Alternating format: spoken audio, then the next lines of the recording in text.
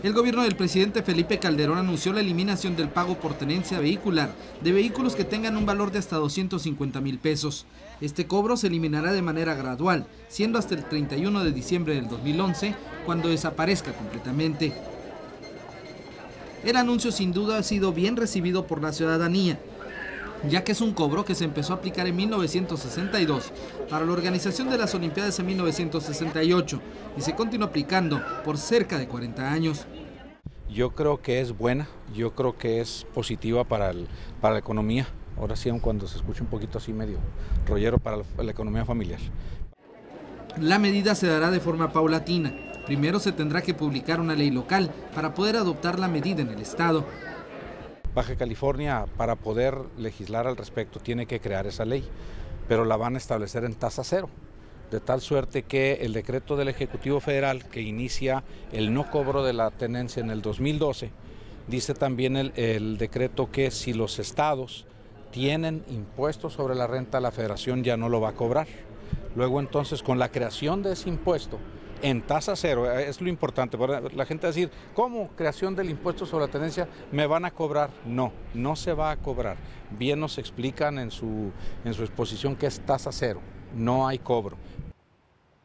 El presupuesto estatal resultará afectado considerablemente, ya que el ingreso por el pago de tenencia tan solo en el 2009 alcanzó la cifra de 449 millones 775 mil 681 pesos cifra que irónicamente se compara con el presupuesto de la Secretaría de Planeación y Finanzas, que justamente es la que cobra la tenencia.